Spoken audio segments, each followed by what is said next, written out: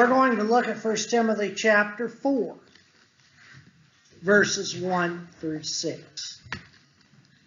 1 Timothy chapter 4, verses 1 through 6. I want us to see what the Apostle Paul is writing to this young preacher of the gospel. Paul says, Now the Spirit expressly says, that in the latter times some will depart from the faith by devoting themselves, listen to this carefully, by devoting themselves to deceitful spirits and teaching of demons. Though the insincerity of liars, through the insincerity of liars whose consciences are seared who forbid marriage and require abstinence from foods that God created to be received with thanksgiving by those who believe and know the truth. For everything created by God is good, and nothing is to be rejected if it is received with thanksgiving. For it is made holy by the word of God and prayer.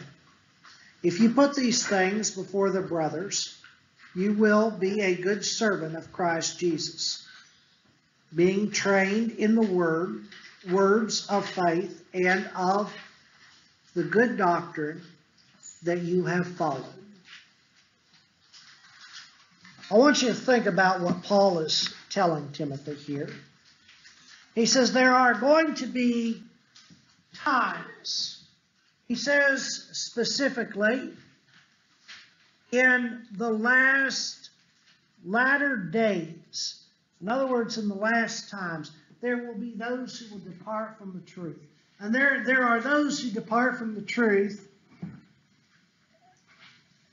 for particular reasons.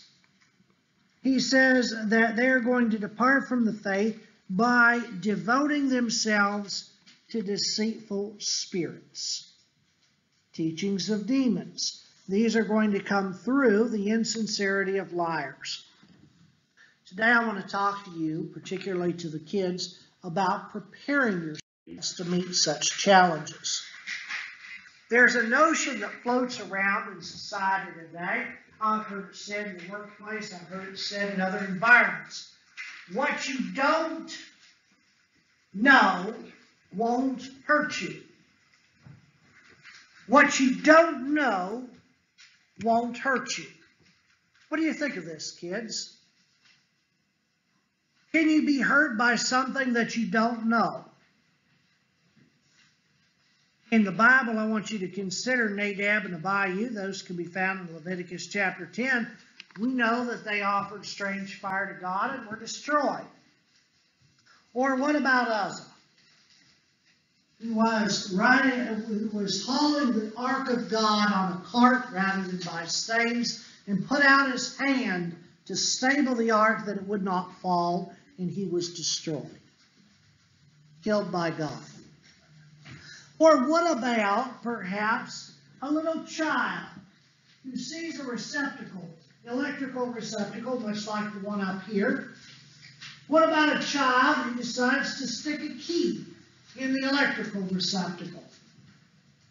Does what the child not understand about electricity? Is it possible for that electricity to hurt him or yes. her? I would like you to entertain what we don't know has the power to do great harm to us. We live in an era when information is at our fingertips. You have access via computers, cell phones, to the internet, a vast amount of knowledge. A vast amount of knowledge is available to you and to anyone around us. And yet general knowledge and common sense are fastly, fast slipping away from us. As we drown ourselves in what I would refer to as static. Video games, television, simple nonsense that's out there. You know, the internet is full of all kinds of great and valuable information. Yet I dare say most of us use it simply for pleasure that has no gain other than entertainment.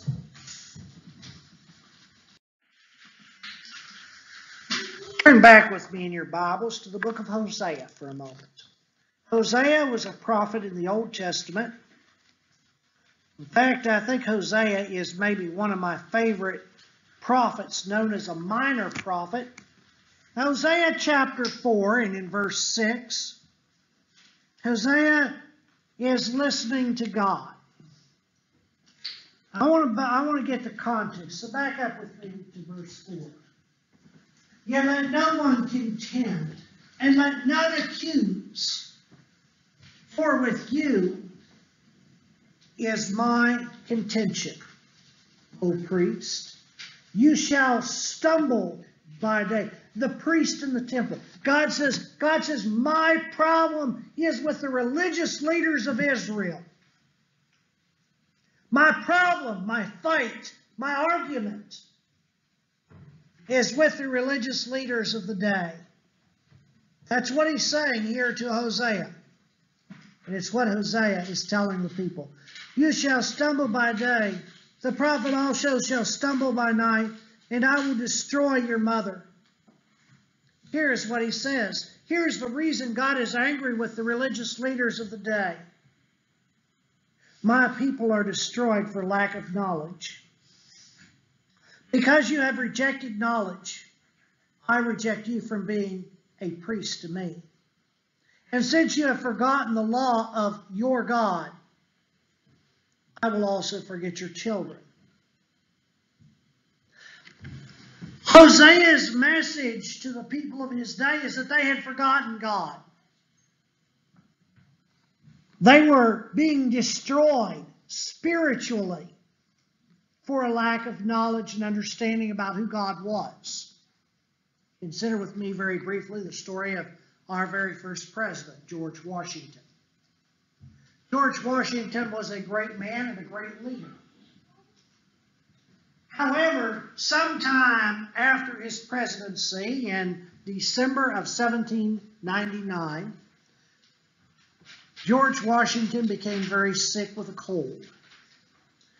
His doctor bled him four times in one day. Within a few hours, he was dead.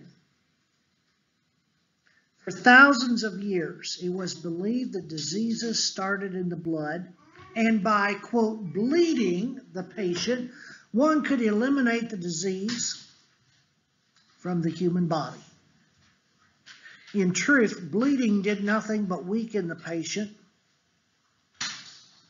and in George Washington's case, bring about death. I often wonder if the doctor who who uh, practiced, if you will call it that, on George Washington ever thought that he would be remembered as the man who killed the first president. Yet that was considered to be common knowledge and the way things were accomplished during that period of time. One would cut the arm and allow blood to flow into a bowl in order to bleed the patient. The truth, however, was available thousands of years before the myth of bleeding was ever thought of. Turn back with me, for example, and just to make the point, to the book of Leviticus, chapter 17. In God's Old Testament law, his covenant with Israel. This is, this is when Moses originally penned it in Leviticus chapter 17 and verse 11. God makes a very simple statement in regards to blood, and particularly life. Leviticus 17 and in verse 11. Begin with me actually in verse 10. If anyone in the house of Israel or of the house of the strangers who sojourn among them eats any blood, I will set my face against that person who eats blood and will cut him off from among his people. Why? God says in verse 11, For the life of the flesh is in the blood. And I have given it to you given it for you on the altar to make atonement for your souls. For it is the blood that makes atonement by the life. It's a very simple concept. It is a concept that should have alerted doctors during George Washington's era, a time when men actually sought truth in scriptures. He should have alerted them. But they were so focused on the customs of the day that they did not listen to what the Bible taught. How many times in Jesus' ministry did he say, Have you not read? It's all written there, it's all contained. Mysteries we read about in our Bible study this morning in Ephesians chapter 1. Paul talks about the mysteries of God. And yet Hosea says that God's perish for a lack of knowledge. Knowledge. How important is it?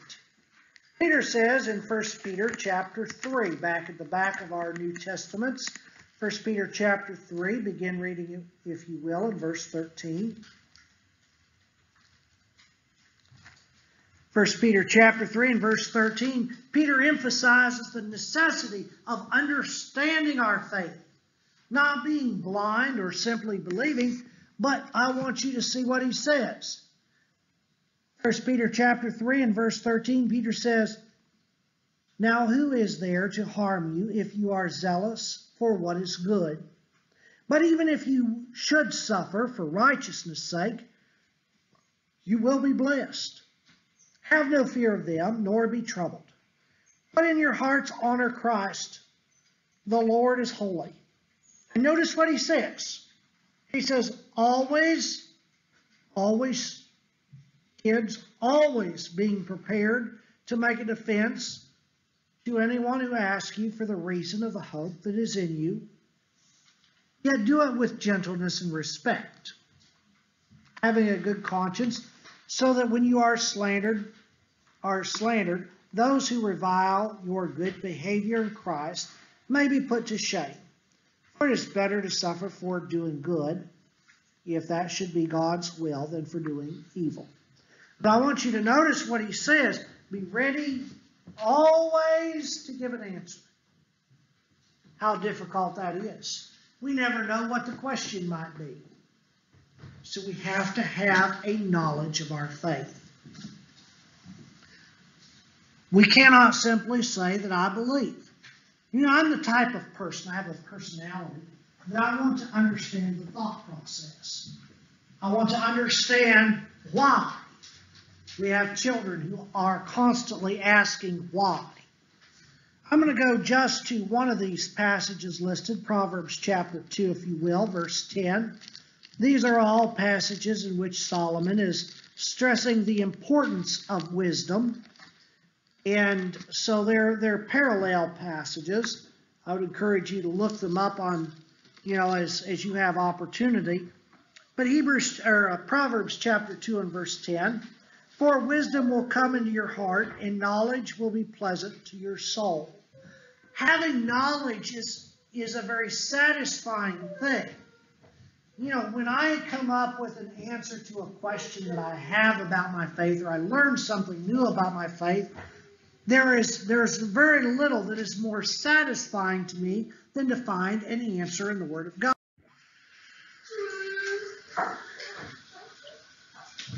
It has always troubled me if I do something but don't understand why. I suppose it's because I've always asked why I want to understand the reason. And if, if I can follow the reason and the logic, then I can accept that someone has thought this through. I may disagree with the conclusion that they've come to, but at least I can accept that someone has put consideration into something. And I respect that. Knowledge. I want you to consider some logical reasons for knowing. Knowledge gives substance and depth to our faith. Without knowledge, our faith is blind. And without knowledge, we are going simply on what we are told. God never expects us to have blind faith. Hebrews chapter 1 and or chapter 11 verses 1 and 2 identifies faith as paraphrasing being untangible. Faith is belief in something that we cannot see. Let's look at let's look at the exact phraseology here. Hebrews chapter 11 verses 1 and 2 the Hebrew writer says Now faith is the assurance of things hoped for, the conviction of things not seen. In other words, faith is believing in something that we cannot see, we cannot feel, we cannot touch, it is not tangible. But it is the belief and the assurance that it is accurate and real. Jesus in the Gospel of John, chapter 8, verse 32 says, Know the truth, and the truth will set you free. That John 8:32 is a idea that we know the truth. Again, faith is not blind. Faith is based on substance. And if we remain faithful to God, it is because we have a depth of understanding of our faith. Knowledge stabilizes faith in times of testing. We will all go through times of testing throughout our lives, and it is important that our faith remain steady. In the book of James, chapter 1, James talks about one who is unstudied, who doesn't have the depth of knowledge. And the one who does not have a depth of knowledge is unstable. James, James chapter 1, verse 8 says, um, he says, uh, he is, a, well, let's, let's back up a little bit. Let's back up to verse 5. If any of you lacks wisdom, let him ask God, who gives generously to all without reproach, and it will be given him. So that's the first thing we need to do. If we want to understand something, we need to ask God for guidance, and we will receive the guidance. But let him ask in faith, with no doubting, for the one who doubts is like a wave of the sea that is driven and tossed by the wind. For that person must not suppose that he will receive anything from the Lord. He is a double minded man, unstable in all his ways. If we ask God for knowledge and we are willing to meet God in that quest for knowledge, God will grant us that knowledge and understanding so that we are no longer like a wave on the ocean. Waves are just that. They're just ups and downs, ups and downs, ups and downs. They're driven by wind. And the wind might drive a wave one direction and then drive a wave another direction, depending on the circumstances. The Apostle Paul, in his letter to the Colossian Christians in Colossians chapter 2, and in verse 9 says this For in him the whole fullness of deity dwells bodily. And you have been filled in him who is the head of all authority.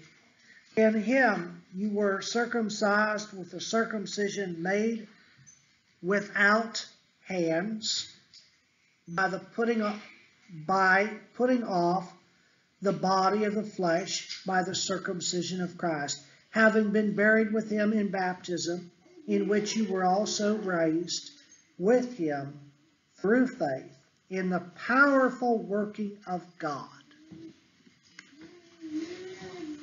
who has raised him from the dead, and you were dead in your trespasses and the uncircumcision of your flesh, made alive together with him by uh, having forgiven us all our trespasses, canceling the record of debt that stood against us with its legal demands. This he set aside, nailing it to his cross. You see, Paul is wanting the Colossian Christians to have an understanding, a fuller knowledge of what it means to be a child of God, what it means to be a Christian, to have their faith stabilized through that knowledge. Knowledge enables us to handle the Bible correctly. Back to 2 Timothy this time, but let's see what Paul tells us this young preacher again. 2 Timothy instead of 1 Timothy, this time chapter 2 and in verse 15. This is a passage that I have long appreciated.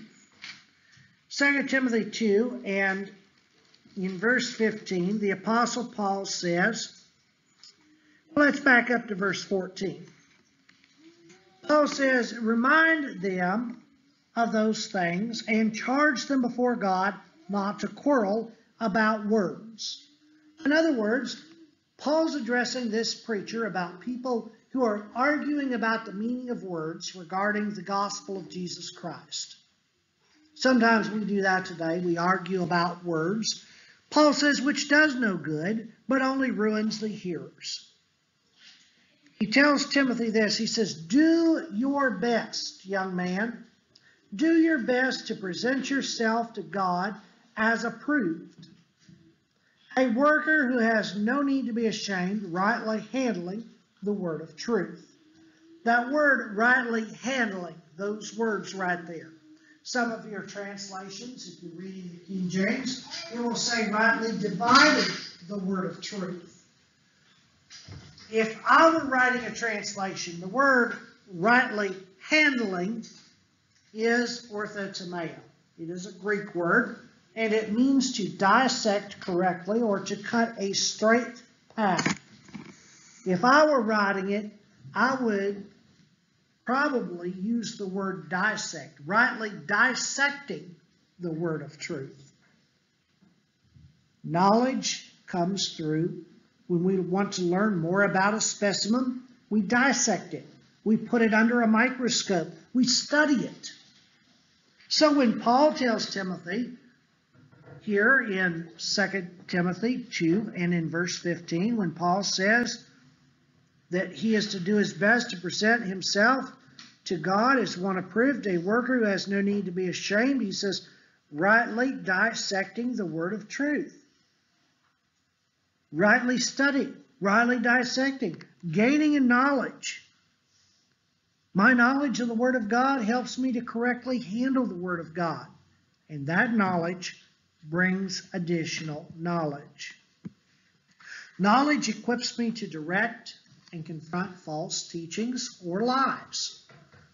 I think that's something that is very important in today's society in which we live. We are surrounded, constantly bombarded by the LGBTQ movement in which they are interested in pushing an agenda. How do I know that it's wrong? Without knowledge, without study of the scripture, I would have no way of knowing that it was wrong and nothing to base it upon. However, the scriptures calls it an abomination. What about any other number of things that our society might throw at us? What about abortion?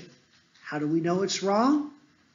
We have to have a basic knowledge and understanding of the scriptures. Our conscience might dictate it's wrong. We might feel that it's wrong, or we might feel that it's right.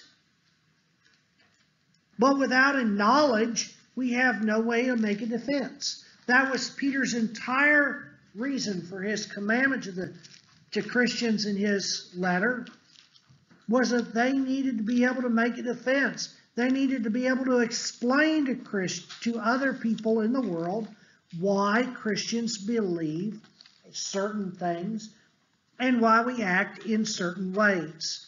Let's go back into the book of Proverbs again, this time chapter 1 in verse 22. Solomon says, How long, O simple ones, will you love being simple? How long will scoffers delight in their scoffing and fools hate knowledge? You know, when I was a kid, I hated school. I didn't want to learn school things. It was when I began to study things that interested me, when I began to appreciate the ability to learn. The Bible is full of things that will interest probably anyone around. We simply have to have a knowledge of how to find them. We have to study it. We have to dissect it. Proverbs 11 and verse 9, Solomon says, With his mouth the godless man would destroy his neighbor, but by knowledge the righteous are delivered. You see how important it is and how it equips us to deal with each with all of these things that life might throw at us. You know, the truth is that the, knowing the Bible doesn't just give us a defense for our faith. Knowing the Bible doesn't simply just equip us to be better Christians. See, the Bible, having the knowledge of the Bible, equips us for life.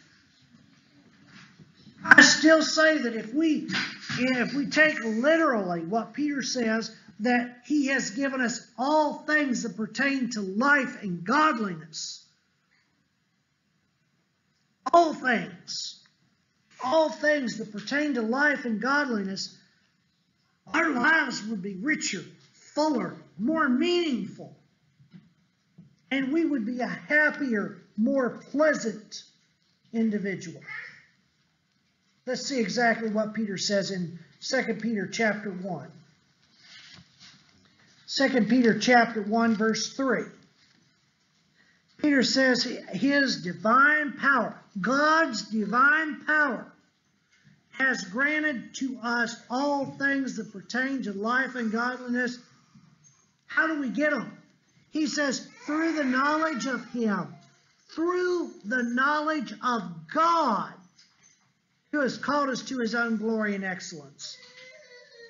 That's how we gain that knowledge. That's how we gain understanding. That's what gives us the appreciation for life. And in 2 Peter chapter 1, drop down with me, if you will, to verse 5. Peter says, For this very reason, make, no, make every effort to supplement your faith with virtue and virtue with knowledge, and knowledge with self control, and self control with steadfastness, and steadfastness with godliness, and godliness with brotherly affection, and brotherly affection with love. For if these qualities are yours and are increasing, notice that, not just that you obtain these qualities, but that they grow inside of you. They keep you from being ineffective or unfruitful in the knowledge of our Lord Jesus Christ. For whoever lacks these qualities is so nearsighted that he is blind, having forgotten that he was cleansed from his former sins. Therefore, brothers, be all the more diligent. Confirm your calling and election. For if you practice these qualities, you will never fall. For in this way, there will be richly provided for you an inheritance into the eternal kingdom of our Lord and Savior, Jesus Christ. As we wrap this lesson up, I've got a few closing thoughts I want to share with you. A strong church may not be the largest in number. A strong church may not be a church that has the most diversity, the most programs, the most under the, the, the largest college or seminary, but a strong church may simply be the church that is the most interested in learning and growing in the grace and knowledge of Jesus Christ. Turn with me back to the Old Testament again. I want you to notice what God's will was for the children of Israel before they entered the promised land. In Deuteronomy chapter 6, God gave some very specific instructions through his servant Moses as to how the children of Israel were to pass on from one generation to the next generation. Deuteronomy chapter 6, and if you will, begin with me in verse 4. Pay close attention to verse 7. Moses says, Hear, O Israel, the Lord your God, the Lord is one. You shall love the Lord your God with all your heart, with all your soul, and with all your might. And these words that I command you today shall be on your heart. Notice verse 7. You, you shall teach them diligently to your children, and you shall talk of them. Now, notice this is how we're to teach them to our children. You're to talk of them when you sit in your house, and when you walk by the way, and when you lie down, and when you rise. You shall bind them as a sign on your hand. They shall be frontlets between your eyes. You shall write them on the doorpost of your house and on your gates. There was a family that lived in our neighborhood when I was growing up. They were way up in their 90s. The, the, the husband had passed away. But before Ray Franks died, every farm building, every gate had a Bible verse. Every building he owned had a Bible verse written over the door. I remember as a child going and seeing over the one building, the, the passage talks about seed time and harvest. And I remember all of these, every every verse fit the building on which it was written. All of the, almost all of those buildings are gone now. And all of the lettering has been painted over. But what I appreciated about Ray Franks, who died before I was born, was there was a man who took literally this passage of writing on his gates the words of God. To pass that on to a generation that had not yet even been born.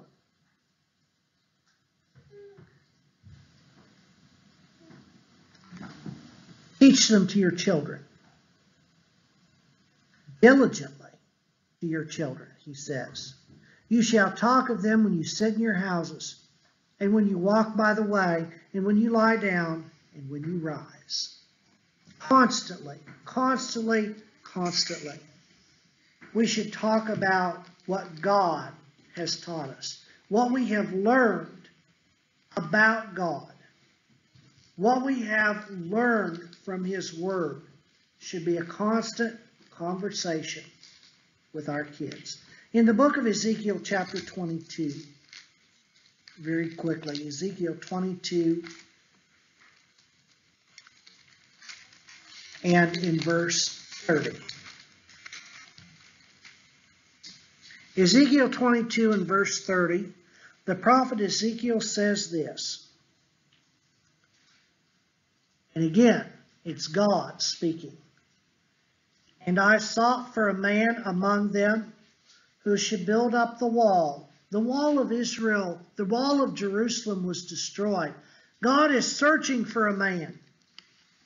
He's searching for a man to rebuild, rebuild his city.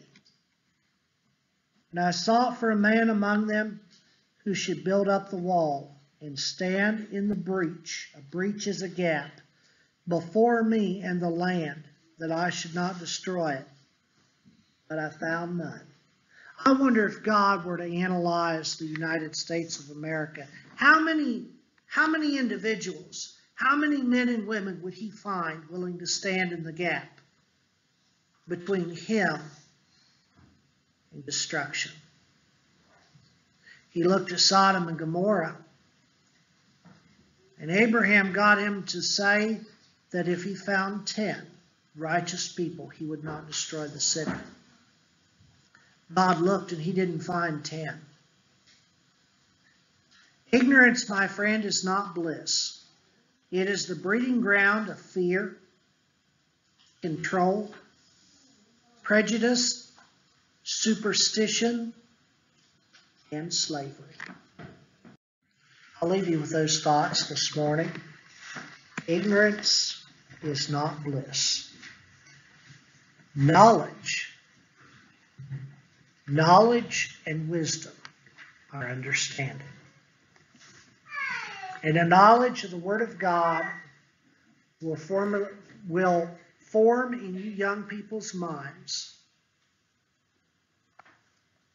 a foundation that cannot be shaken. We have opportunity invitation. If there's anyone who has a need of that, I would encourage you to make that known as together we sing 310.